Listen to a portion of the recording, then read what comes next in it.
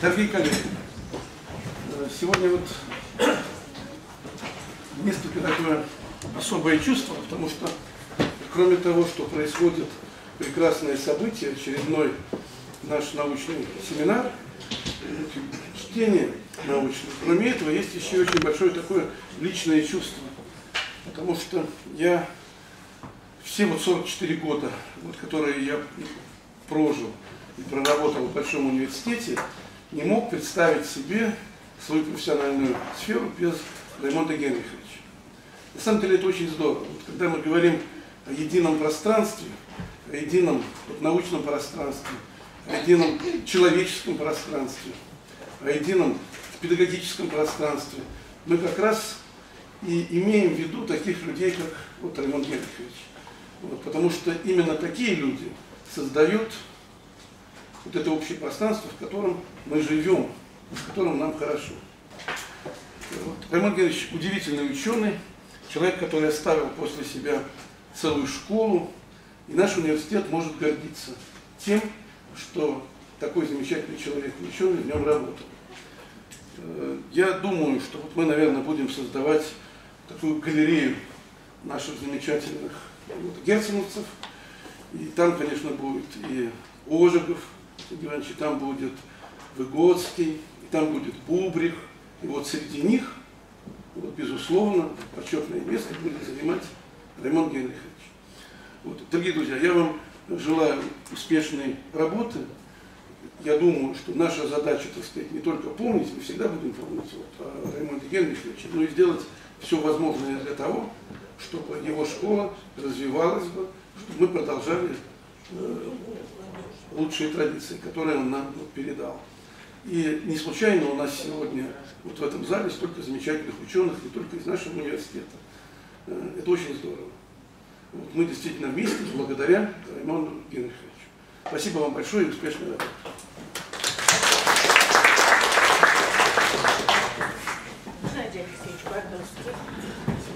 Да, я хотела еще, пока Геннадий Алексеевич подходит, сказать, что Раймонд Генрихович очень высоко ценил работу Сергея Игоревича. И это я знаю не понаслышке, поскольку это говорилось мне лично и неоднократно. Спасибо. Спасибо большое. Во-первых, спасибо за приглашение. Для меня это большая честь присутствовать на научной конференции, посвященной Раймонду Генриховичу. Э, вот э, Сергей Игоревич задал э, сразу такой численный тренд, сказал 44 года. Я боюсь сказать, сколько лет, поскольку я с Раймондом Генриховичем познакомился в 69 году. Ну, немножко, наверное, больше, чем 60-44 года, точно не буду считать. К сожалению, моя научная сфера и поле деятельности Раймонда Генриховича совершенно не совпадали. И я знаю Раймонда Генриховича совершенно с другой стороны, со стороны административной.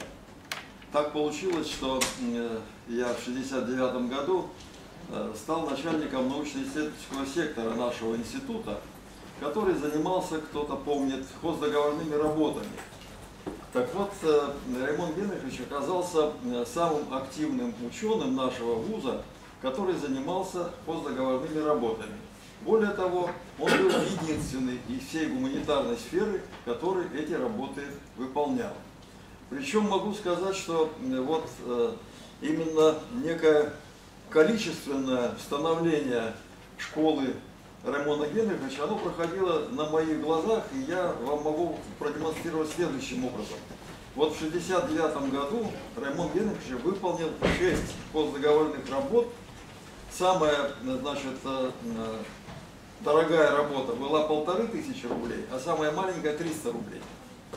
Вот на фоне того, что делали физики-химики, когда средняя постдоговор было 10 тысяч рублей, вот это мне казалось, значит, вот ну, таким э, удивительно странным и доставляло больше всего э, работы, потому что неважно, какой доход дает договор, все оформления и так далее, все нужно проводить столь же значит, тщательно.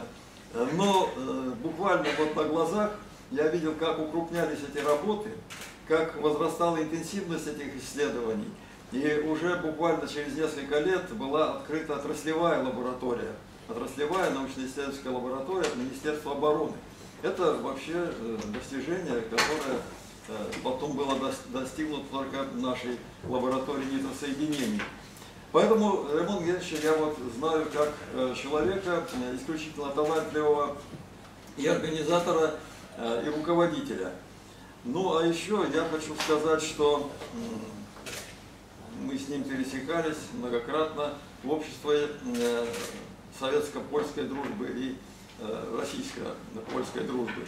Он был э, очень ну, ведущий, конечно, участник этого общества трепетно относился к этой своей ипостаси, что тоже говорит о широте его взглядов на жизнь, на, на свою работу. А в целом я согласен с Сергеем Игоревичем, потому что Рамон Генрихович он относится э, к числу тех столпов, на котором э, строился э, и существовал и развивался наш университет.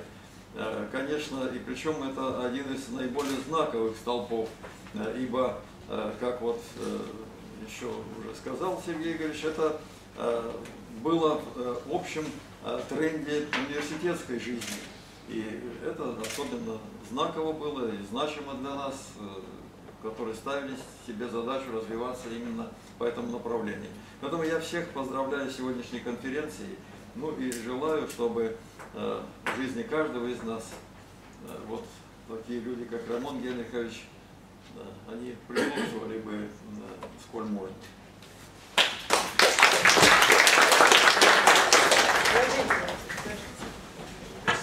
Спасибо.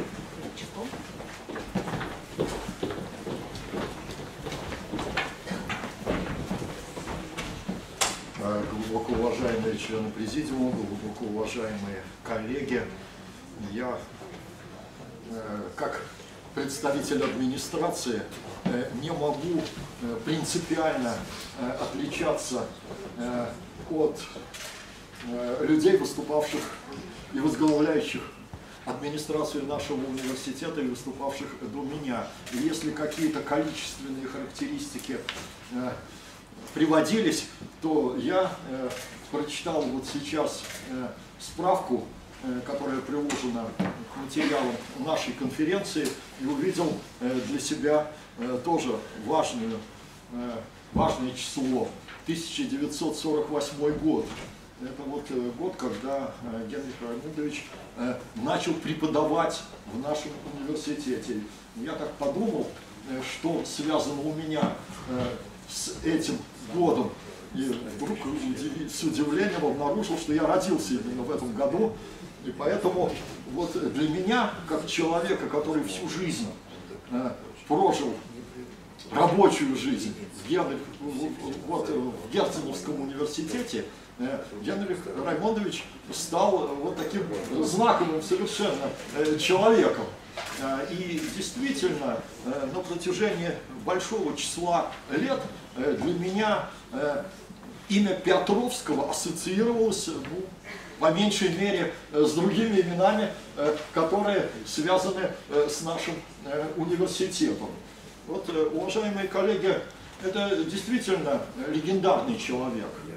И говорить о его заслугах можно очень Э, большое количество э, времени, и все равно их все не перечислить. Вот мне представляется, что э, Генрих Раймондович видел существенно дальше, чем видели многие в те годы, когда он работал.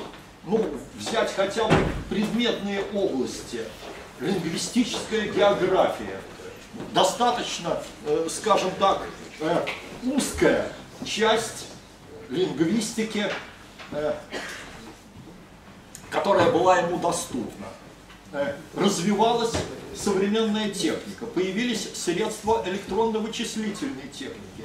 И Генрих Раймондович увидел, что за этим направлением в лингвистике тоже огромное будущее. Возникли системы машинного перевода, возникли работы, о которых говорил э, Геннадий Алексеевич, которые делались э, в интересах наших оборонных ведомств. Опять это было великое предвидение Раймонда Генриховича.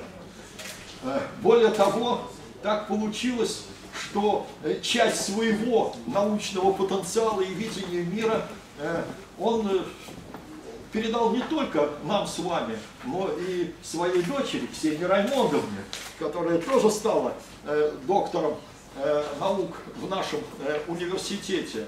Уважаемые коллеги, вот иногда говорят, что самое важное для ученого –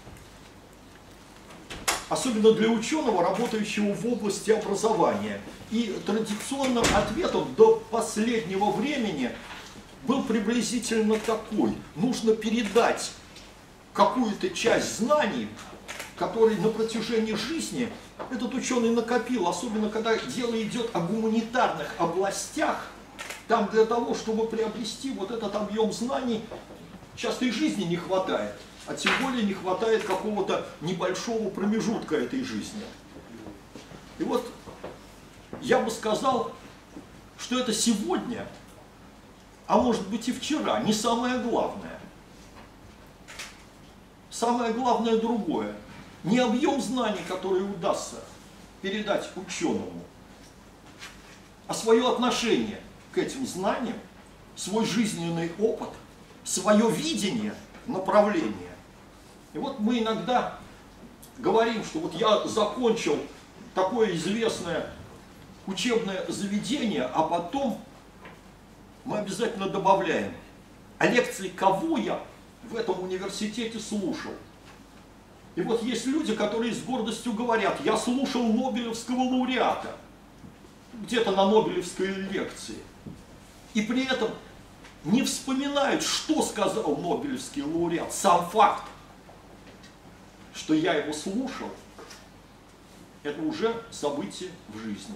Так вот, в моей жизни было тоже такое событие. Я слушал Раймонда Генриховича Петровского и очень этим горжусь. Спасибо.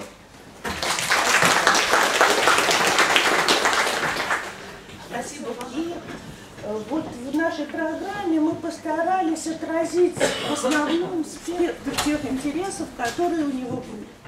Я буду говорить только об одной стороне дела, об инженерной лингвистике как таковой.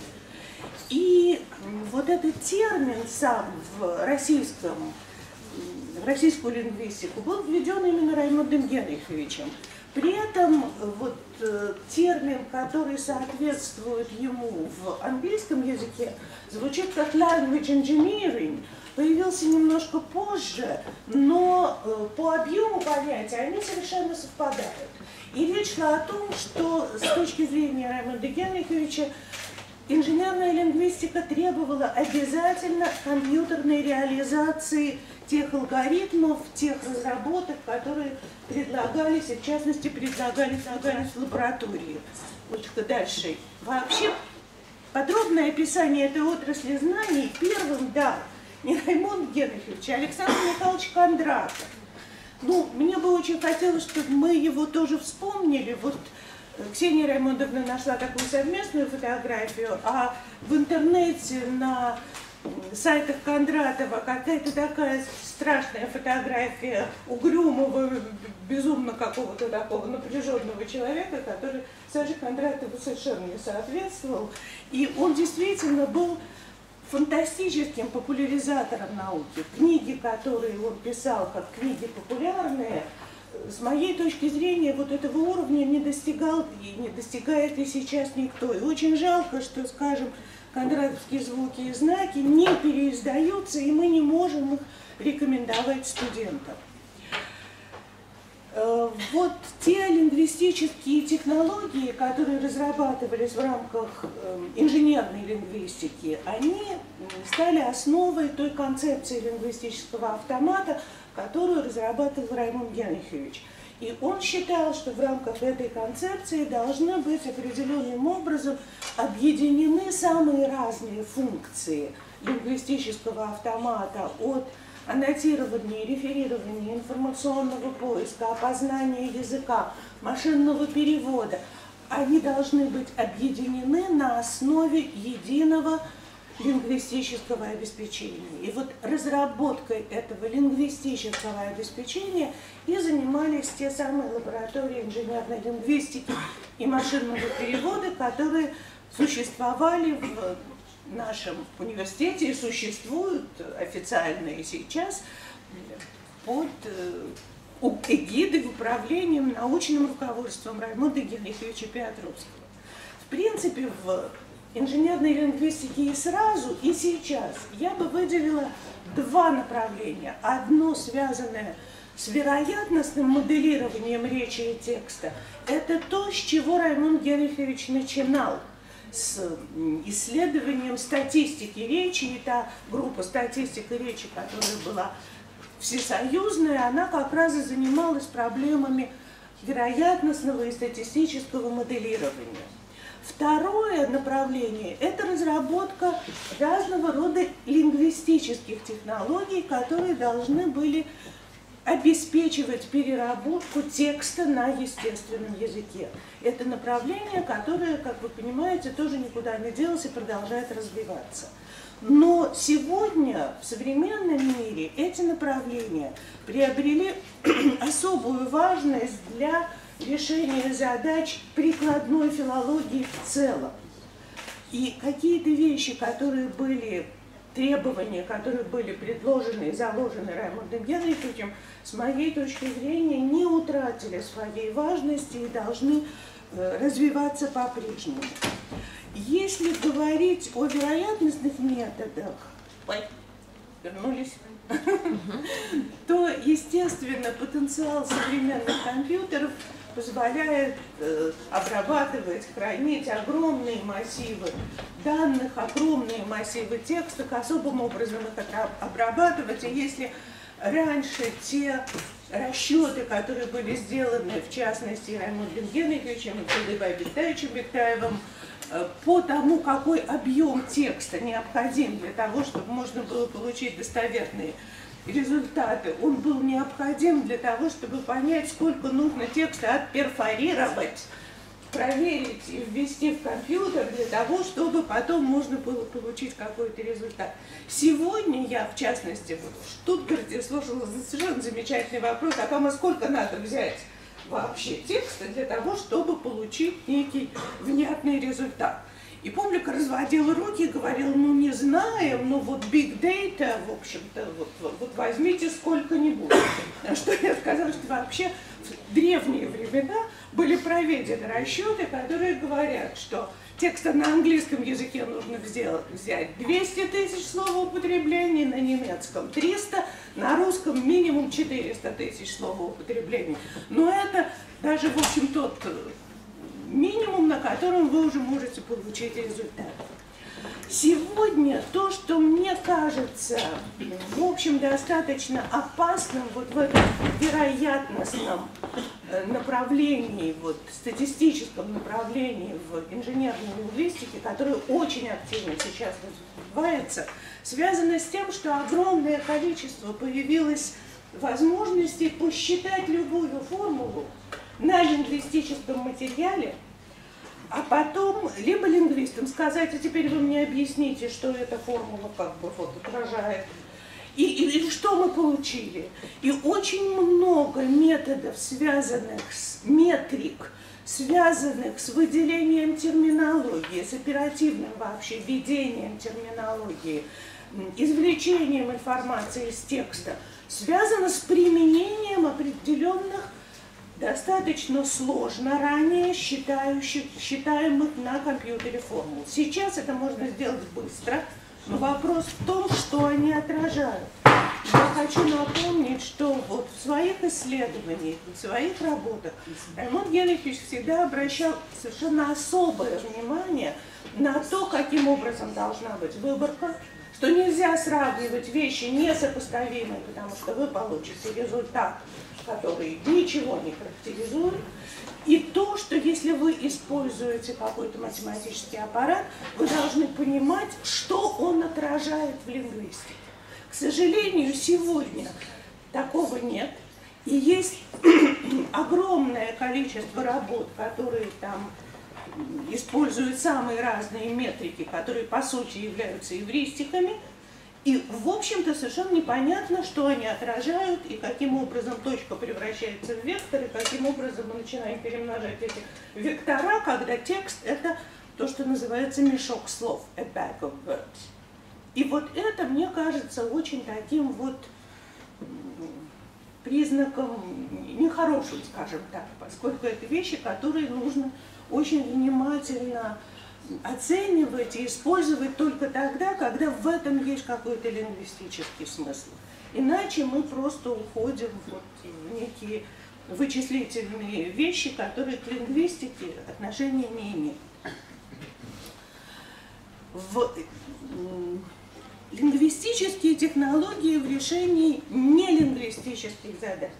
Дело в том, что сегодня степень внедрения разного рода лингвистических, не просто информационных, лингвистических технологий оказывается совершенно особой, и требования к этим технологиям и к внедрению оказываются э, важными. Причем именно в последние годы.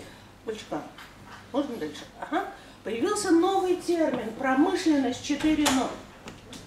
Ну вот, э, конференции, которые проходили во всем мире в прошлом году, они как раз рассматривали проблемы, связанные с промышленностью 4.0, как некоторым особым видом промышленного производства с автоматизацией огромного количества функций и с опорой на ту лингвистическую информацию, которую задает текст. И отсюда возникает новый термин, ой, едем дальше, называется, возникает новый термин, который называется информация 4.0. То есть особые способы подготовки информации. Во всем мире существуют на сегодняшний день уже системы для подготовки информации, но, к сожалению, мы не готовим филологов к работе с такого рода текстами к работе с текстами технической документации. Мы вообще не готовим их к работе с этими текстами, даже когда готовим переводчиков. Хотя давно известно, что человек может перевести какой-то научный или технический текст, если он может написать его сам. Если человек в жизни не написал ни одного отчета, он перевести отчет не сможет. То есть то, что он переведет, будет нечто совершенно несоответствующее в рамках вот этих вот направлений, то, что называется, повторяю, информация 4.0, есть особые требования к документации. И появился новый термин – language workers. В русском языке нет перевода. То есть это специалист по работе с естественным языком. Потому что Language worker – это и переводчик, и терминолог. И я обращаю ваше внимание, что вообще в и серьезных компаниях, и на Диком Западе, условно скажем так, терминолог, переводчик – это разные люди. Разные люди. Работают они, у них разные задачи. Это у нас переводчик, одна прислуга за все, которая вот и и перевод термина найдет, и термин выделит, и, значит, текст переведет. Это разные люди. И особая компетенция требуется в области, которая называется technical writing. Ну, мне режет слух вот это вот техническое описание или технический язык, но в принципе у нас просто, извините, как для language workers нормального термина нет, ну нет его пока, так и для вот technical writing. И вот эти компетенции, компетенции должны разрабатываться и должны создаваться, организовываться, вырабатываться на фоне специальных курсов. А я хочу напомнить, тут в основном все-таки сидят филологи, что мы вообще как-то рассматриваем научную и техническую документацию как вещь такую второсортную. Вот художественная литература – это интересно, а вот что там в этой самой технической, что там происходит, как это пишется и, и что там делается, нам кажется, что это вот не наше дело. Сегодня это наше с вами дело, и мы должны вырабатывать соответствующие компетенции. Вот обратите внимание, есть вот э, сегодня есть технический писатель. Более того, есть стандарт, государственный стандарт технического писателя. У нас термина толком нет, потому что это и technical authors, и technical writers, и technical communicators.